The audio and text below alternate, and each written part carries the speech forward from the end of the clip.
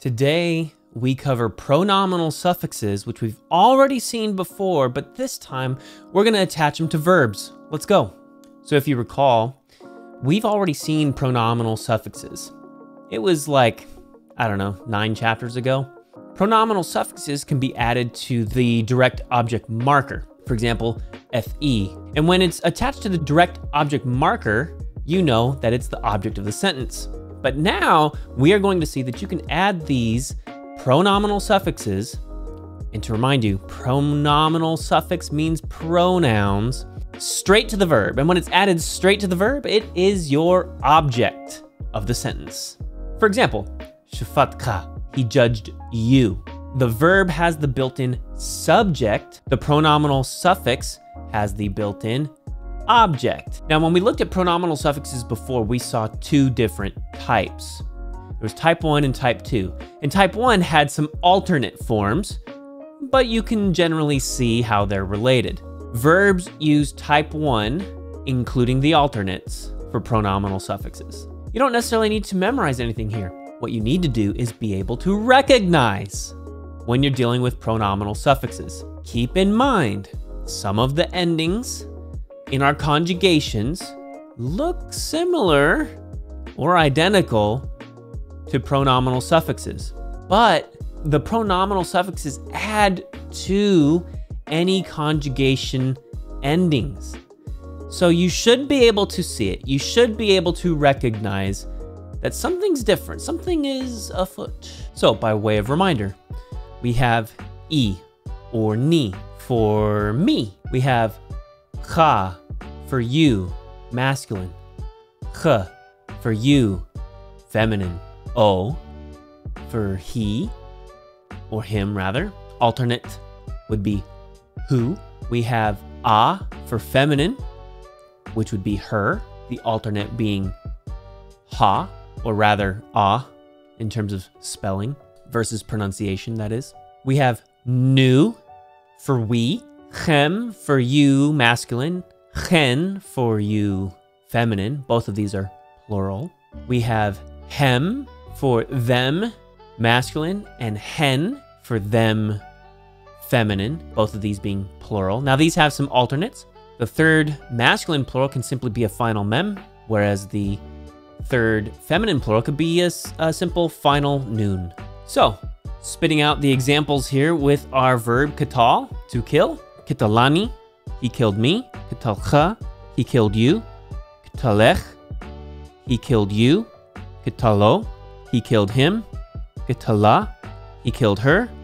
Kitalanu, he killed us. Kitalchem, he killed you. Kitalchen, he killed you. Kitalam, he killed them. Kitalan, he killed them. That's with the perfect conjugation. Now you'll notice there are some vowel pointing changes. That's not really a main concern. Why? Because you know your prefix you know your suffix. So you should be able to see how these verbs are working and then they add the pronoun at the end. Now that being said, sometimes the changeable vowels or uh, the consonants will change when a verb is going to attach a pronominal suffix. What you'll find is the Kametz hey will change to will change to pathak tav, or the Kametz under the tav will become an accent, or the vowel will become hirik yod. But in all instances, the initial vowel in the perfect becomes shava. Now, in our material, you'll see that there's nothing there for second masculine plural, second feminine plural. And that's because they're simply not attested which means they don't exist, or they just don't occur frequently enough to warrant discussion. Now, don't forget, some of these changeable vowels that occur may end up experiencing defective spelling. So, for example, you might see a shirik turn into a kibbutz. One final note here is that with third hey weak verbs that add a pronominal suffix where the suffix includes a hey, the hey is basically just assimilate, or you could say drop out. It's ablaut somehow. I don't know. It's just the third hey drops. It's simple. You should still be able to recognize it. So again, you're gonna see some variation in spelling. Don't be alarmed. You're gonna stick to what you know.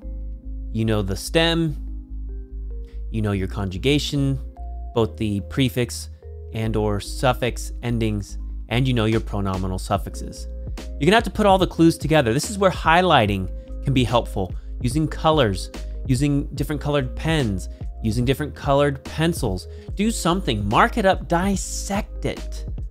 It makes it easier. Play like you're Sherlock Holmes and you're solving a puzzle. When it comes to the imperfect conjugation, it uses the type 1 pronominal suffixes as well, but it also has a few extra ones that the perfect does not share. These are noon based endings. These typically occur in second masculine singular, third masculine singular, third feminine singular. With the second masculine singular, this one's a weird one because the noon actually drops out. It assimilates into the final kaph and becomes a dagesh forte. Otherwise, in the third person, you'll see the noon with a dagesh plus the ending enu and na. So we're left with echa, enu, and na. But the accent is up front.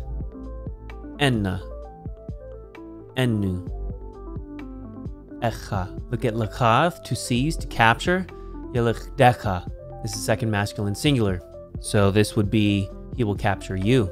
Now, when it comes to the imperfect, the spelling changes that occur are primarily to take the, the stem vowel and change it to a shava. And then you add the pronominal suffixes at the end of the conjugation.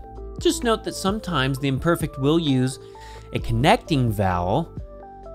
Not always, but it can, and you don't need to memorize them all. Again, the point is recognition. We're not trying to be fluent. We're looking to recognize. We're looking to piece it together. We're looking to dissect it. So just know that there could be some connecting vowels. And as we saw with perfect, third hey verbs simply often drop the third hey. And then you just have your pronominal suffix at the end. Now, a real tricky set of verbs is nathan to give, lachach to take, and sim to place. And that's because of the uh, irregularity of these verbs. Just be aware that with some of these irregular verbs, uh, some some of the consonants will drop out, like the noon will drop out. We've seen that before. Uh, and so you, you really need to know your vocabulary. When it comes to the Qal imperative, well, this one's a little tricky, but you'll see your your stem and uh, you'll see a Kametz Hatuf up front. The next vowel that you'll see will be a Shava. And then after that, you'll see something like a Tsere. So it's really unlike anything we've seen before. And then you'll see your final pronominal suffix on there. At least this is true for second masculine singular. Otherwise, you might see some lengthening, you might see some shortening. There's ablaut. So let's look at some examples. Kitaltiv, I killed him. Kitaluhu. They killed him. Kitalnuhu. We killed him. Yiktalehu. He will kill him. Yiktalcha. He will kill you. Katlem. You. Kill them. So that is pronominal suffixes on verbs. It's really quite simple if we're being honest with ourselves, because we've learned our vocabulary, we've learned our prefixes, we've learned our suffixes for our verb conjugations, we've learned our pronominal suffixes. All we have to do is put the pieces of the puzzle together. It's like a jigsaw puzzle, okay?